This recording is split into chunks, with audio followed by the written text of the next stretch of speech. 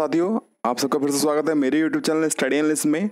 देखिए, इस वीडियो में मैं जो बात करूँगा, वो बात करूँगा जो देश के अंदर नई शिक्षा नीति 2020 लागू हुई है, उसके बारे में बात करेंगे। तो देखिए, क्या होता था कि बहुत टाइम से जो है डिमांड चल रही थी कि एजुकेशन सिस्टम को थोड़ा सा चेंज किया जाए। इसमें ज़रूरत है थोड़े चेंजेस लाने की अपग्रेड अपग्रेड करने की एजुकेशन सिस्टम को। तो वहीं पे बहुत टाइम से जो है इसकी डिमांड चली थी। वेरियस जो यूनिवर्सिटीज़ हैं और वेरियस कॉलेज थे, वो इसकी डिमांड कर रहे थे कि आप इसमें थोड़ा चेंज कीजिए आयोग से और गवर्नमेंट से। तो इस पर जो है बहुत टाइम से चेंजेस नहीं हुए थे। आखिरी बार जो चेंजेस हुए थे एजुकेशन पॉलिसी के अंदर, वो हुए थे उन्नीस में सॉरी उन्नीस सौ छियासी में। नाइनटीन में चेंजेस हुए थे। उसके बाद से थोड़े से चेंजेस होते हैं, लेकिन ज़्यादा चेंजेस नहीं होते लेकिन अब बहुत बड़े स्केल पर जो है चेंजेस किए हैं इसके अंदर, ठीक है? तो हम बात करेंगे क्या क्या चेंजेस किए हैं इसके अंदर। और आपको मैं एक चीज़ और बताता हूँ कि ये जो है, इस पर जो काम है एजुकेशन पॉलिसी को चेंज करने के लिए जो काम है, कैसे क्या बदलाव करने हैं, क्या करना है तो उसकी शुरुआत हुई थी जो है 26 जनवरी 2019 को। इसकी शुरुआत कर दी थी मोदी गवर्नमेंट ने। लेकिन इसका जो अंतिम चरण था, वो कब खत्म हुआ था कि 31 सॉरी 26 अक्टूबर 2019 को उसका जो है लास्ट अपडेट लिया गया था वेरियस यूनिवर्सिटीज यूनिवर्सिटीज़ और अलग अलग टीचर ठीक है? तो इसमें हम बात करेंगे कि क्या क्या उसके जो है, नाम रखे गए हैं सॉरी क्या क्या इसमें चेंजेस हुए हैं, और एक मैंने, एक देखिए, बहुत इंपॉर्टेंट क्लॉज डाली है, इसमें एक पॉइंट लिखा है कि एचआरडी मिनिस्ट्री जो है, हमारी जो ह्यूमन रिसोर्स एंड डेवलपमेंट है, इसका नाम बदला है। मैं आपको बताऊँगा इसका नाम क्या रखा है, ठीक है? तो हम चलते हैं आगे वीडियो को थोड़ा डिटेल में डिस्कस करने के लिए। ठीक है फ्रेंड्स? और हाँ फ्रेंड्स, एक, आपके लिए एक है कि अगर आप मेरे चैनल पर नए हैं तो प्लीज़ मेरे चैनल को लाइक कीजिएगा, चैनल को सब्सक्राइब कीजिएगा, वीडियो को लाइक करके नोटिफिकेशन पाने के लिए बेल आइकन को प्रेस कीजिएगा। ठीक है? सो फ्रेंड्स चलते हैं हम वीडियो की तरफ़ को। देखिए एजुकेशन पॉलिसी क्या क्या है? देखिए बेसिक्स जो इसके एजुकेशन जो पॉलिसी लाई जाती है, इसका बेसिक्स जो है, क्या क्या है इसका मोटिव कि जो तीन साल से ले अट्ठारह साल तक के बच्चों को जो है शिक्षा का शिक्षा का अधिकार मिलना चाहिए मीन्स जो जितने भी हमारे देश के अंदर बच्चे हैं, उनको तीन साल से लेकर अठारह साल तक की जो उम्र तक के लिए, उनको जो पढ़ाई है, वो गवर्नमेंट करेगी उनके लिए। सारा जो अधिकार है, वो गवर्नमेंट जो उनको मिलना चाहिए हर बच्चे को, और सारा खर्च गवर्नमेंट उठाएगी। ये इसका अभी बेसिक सेंस की ठीक है? अगला पॉइंट्स बात करते हैं क्या क्या है।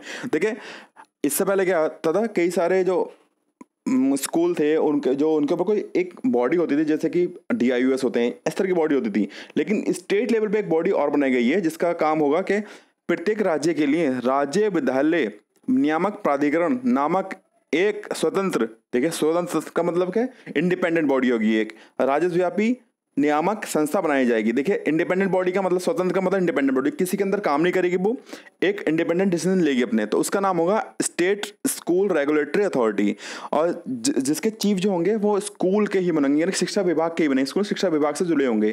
किसी और डिपार्टमेंट के चीफ को ऑफिसर को इसका हेड नहीं बनाया जाएगा। ठीक है? अच्छी बात है, बढ़िया बात है। तो चेंजेस मतलब उससे अच्छी तरह से एजुकेशन को समझेंगे वो लोग। ठीक है? नेक्स्ट जो उसमें चेंजेस हैं, वो ये क्या कहें? जो प्री प्राइमरी एजुकेशन होती है, उसके लिए क्या क्या देखिए बताइए, कि early childhood care and education यानी कि ई सी सी ई के अंतर्गत प्री प्राइमरी शिक्षा आंगनबाड़ी और स्कूलों के माध्यम से होगी। जो तीन से छः साल के बच्चे हैं, उनके लिए जो एजुकेशन है, वो कहाँ होगी? ये तो स्कूल में होगी प्राइमरी प्री प्राइमरी स्कूल होते हैं, और आंगनबाड़ी के माध्यम से भी हो सकती है, ठीक है? सेकंड, जो नेक्स्ट में चेंजेस किए हैं, वो है टैट लागू कर दिया। देखिए टैट जो होता है, एक तो होता है स्टेट टैट होता है एस टैट और एक होता है सी टैट तो देखिए, जो टैट है, चाहे सी टैट हो या स्टेट कोई भी टेस्ट हो टैट हो, उसके लिए जो टीचर एजुकेशन एलिजिबिलिटी है, वो क्या कर दी गई है, उसको अप टू सेकेंडरी लेवल इसको अपग्रेड कर दिया गया है। पहले क्या होता था कि टैट सिर्फ़ प्राइमरी लेवल तक के लिए वैल्यूड होता था, और सेकेंडरी लेवल और एट तक के लिए लिए जूनियर लेवल के वैलिड होता था, लेकिन अब इंटर कॉलेज तक के लिए, यानी कि हायर सेकेंडरी और सेकेंडरी सॉरी सेकेंडरी लेवल तक के लिए हायर नहीं सेकेंडरी लेवल तक के लिए ये टेट को वैलिड कर दिया, यानी कि टेंथ तक ओके सो नेक्स्ट हम बात करते हैं कि नई शिक्षा नीति में क्या है? सिर्फ़ बी जो होगा बी जो होगा पहले क्या होता था? अब तक दो साल का बीएड होता था आफ्टर ग्रेजुएशन और आफ्टर पोस्ट ग्रेजुएशन लेकिन अब क्या है? अगर आप ग्रेजुएशन की बात करना चाहते हैं तो वो चार सॉरी आप ग्रेजुएशन के बाद दो वर्ष का होगा और इंटरमीडिएट के बाद वो चार वर्ष का होगा और अगर आप पोस्ट ग्रेजुएशन की बात को करेंगे तो एक वर्ष का बी कोर्स रखा गया है, ठीक है? बढ़िया बात है। और और कुछ चेंजेस किए गए हैं तो आपको बताता हूँ। जो नई नियुक्तियाँ होंगी, अब एजुकेशन डिपार्टमेंट का जो भी नई नियुक्तियाँ होंगी, उनमें जो है एक, या तो स्किल टेस्ट होगा उनका, टीचर्स का, जो कैंडिडेट होंगे, जो टेस्ट, जो एग्ज़ाम में बैठेंगे उनका, जो अप्लाई करेंगे टीचर के लिए, उनका या तो डेमो टेस्ट होगा, इंटरव्यू होगा, ये तरीके की चीज़ें शामिल की गई हैं। ये बहुत अच्छी बात है। इंटरव्यू होना चाहिए। इंटरव्यू से क्या होता है कि हम एक अच्छा और वेल एजुकेटेड और अच्छे से एक्सप्लेन करने वाले टीचर को हम जो है एजुके में डिपार्ट डिपार्टमेंट में और स्कूल में लग, लगा सकते हैं। देखिए आप सभी ने अभी देखा होगा कि 2000 2019 की बात है उसमें एक बहुत एक वीडियो वायरल हो रही थी जिसके अंदर एक टीचर से स्कूल की एक टीचर से संडे लिखने को कहा गया था बोर्ड में एक न्यूज़ रिपोर्टर ने तो उनको संडे तक की स्पेलिंग नहीं पता थी तो वो इंग्लिश पढ़ा रही थी वो क्या ही पढ़ाएँगे बच्चों को ठीक है? तो इसी के लिए उसी खामी को कवर करने के लिए डेमो टेस्ट और स्किल टेस्ट रखा गया है ठीक है? नेक्स्ट हम बात करते हैं कि क्रेडिट बेस्ड सिस्टम को लाया गया देखिए, क्रेडिट बेस्ड सिस्टम में क्या रखा गया है? क्रेडिट सिस्टम में ये होगा कि अगर आपने रिसेंटली किसी भी ऐसे कॉलेज में एडमिशन ले लिया जहाँ पे आपको आपकी अकॉर्डिंग पढ़ाई नहीं हो रही है आप उससे सेटिस्फाई नहीं है कॉलेज से, किसी भी कोर्स के बीच में, किसी भी कोई आप कोर्स कर रहे हैं, कोई भी मान लिया आप बी कर रहे हैं या बी टेक कर रहे हैं, कुछ भी आप जो कोर्स कर रहे हो, ठीक है? लेकिन आपसे सेटिस्फाई नहीं है, ठीक है? तो आप सेटिस्फाई नहीं है तो उसके लिए आप सोचते हैं कि कॉलेज चेंज करूँ? कॉलेज आप चेंज करते थे, अब तक क्या होता था? तो आपको फिर से आपको मतलब आप सेकंड ईयर में या थर्ड ईयर में तो आप अगर कॉलेज चेंज करना चाहोगे तो आपको फिर से एडमिशन लेना पड़ेगा फ़र्स्ट ईयर में। लेकिन अब क्रेडिट बेस्ड सिस्टम जो होंगे, उसमें इसकी ज़रूरत नहीं होगी। आप अगर सेकंड ईयर में और आप कॉलेज चेंज करना चाहते हैं तो आपको थर्ड ईयर में एडमिशन मिल जाएगा on the basis of your credit systems ठीक है? तो बहुत अच्छा ये पॉलिसी लाई गई इंट्रोड्यूस की गई है इसके अंदर। नेक्स्ट हम देखते हैं कि जो टीचर्स होते हैं शिक्षकों को गैर शिक्षण संस्था यानी कि जो टीचर होते हैं, आपने देखो कई जगह क्या करते हैं, जैसे कि ऑफ़िस पर में बैठा लेते हैं टीचर को, कई जगह देखा गया और बी भी ड्यूटी लगती है, और अन्य जो ड्यूटियाँ करते हैं उनको उनको हटाया जाएगा, और उनको जो है सिर्फ़ टीचिंग में ही रखा जाएगा, ठीक है? और हम बात करते हैं कि जो इन, इनकी टीचर की जो ड्यूटी है, वो चुनाव में लगेगी, चुनाव में ही ड्यूटी लगेगी। और फ्रेंड्स लास्ट कुछ और चीज़ें चेंजेस हुई हैं। जैसे कि हम बात करते हैं कि ग्राम, जो ग्रामीण इलाकों में स्टाफ क्वार्टर बनाए जाएँगे। जैसे कि केंद्र विद्यालय में होता है। केंद्र में क्या होता है? केबी में क्या होता है? के टीचर्स के लिए वहीं पे क्वार्टर होते हैं, जहाँ केबी होते हैं, वहीं पे रहते हैं टीचर ठीक है? और नेक्स्ट अपडेट में ये क्या है क्या कि मिड डे मील के साथ साथ जो कि मिड डे मील होता था अब तक, और मिड डे मील में क्या होता था कि लंच मिलता था। लेकिन लंच के साथ साथ ब्रेकफास्ट को भी एनरोल किया गया। अब ब्रेकफास्ट भी मिलेगा बच्चों को, ठीक है? और नेक्स्ट जो पॉइंट वो थ्री लैंग्वेज बेस्ड स्कूली शिक्षा होगी।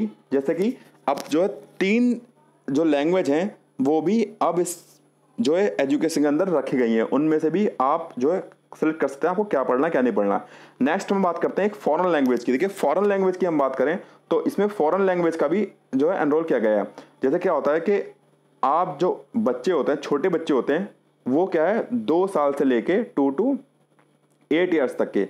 एट टेस्ट के जो बच्चे होते हैं, वो उनका जो माइंड होता है, जो उनका मेंटेलिटी लेवल होता है, वो किसी भी नए लैंग्वेज को पकड़ने के लिए बहुत स्ट्रॉन्ग होता है। तो इसीलिए जो है फॉरेन लैंग्वेज को भी एनरोल किया गया है इस कोर्स के इस जो एजुकेशन पॉलिसी ये नई 2020 के अंदर। तो छोटे बच्चों के लिए, यानी प्राइमरी स्कूल में भी जो है फॉरेन लैंग्वेज पढ़ाई जाएँगी, ठीक है? नेक्स्ट जो है अगर हम बात करें साइंस, यानी कि विज्ञान और गणित को भी बढ़ावा दिया जाएगा, सीनियर, हर सीनियर सेकेंडरी स्कूल में साइंस और मैथ्स विषय अनिवार्य होंगे, ठीक है? अब तक क्या होता था? पहले हम कुछ और ले लेते हैं जैसे लेकिन, जैसे कुछ भी है लेकिन अब साइंस और मैथ्स आपको लेना होगा, ये अनिवार्य, कंपलसरी कर दिया है, ठीक है? स्थानीय भाषा भी शिक्षा का माध्यम होगी, जो रीजनल लैंग्वेज होती है, जैसे कि कहीं, जैसे अगर हम बात करें, जैसे यूपी में बात करते हैं, हिंदी चलती है, राजस्थान में में राजस्थान में जो गुजराती चलती है, क्या बोलते हैं? गुजरात के अंदर। राजस्थान में मारवाड़ी चलती है और हरियाणा में हरियाणा भी चलती है और बिहार में जो है वो चलती है। जैसे लैंग्वेज उनकी रीजनल लैंग्वेज चलती है, ठीक है? अब उनको रीजनल लैंग्वेज में भी पढ़ाया जाएगा, ठीक है? पहले ऐसा नहीं था। और हम बात करें कि स्कूलों में राजनीति व सरकार का हस्तक्षेप नहीं होगा। इस बार क्या है? स्कूल, किसी भी स्कूल में किसी भी राजनीतिक किसी भी नेता का और सरकार, यानी गवर्नमेंट का कोई भी हस्तक्षेप नहीं होगा। ठीक है, वो एक इंडिपेंडेंट बॉडी की तरह काम करेंगे, ठीक है? ये सारे चेंजेस किए गए हैं इसके अंदर।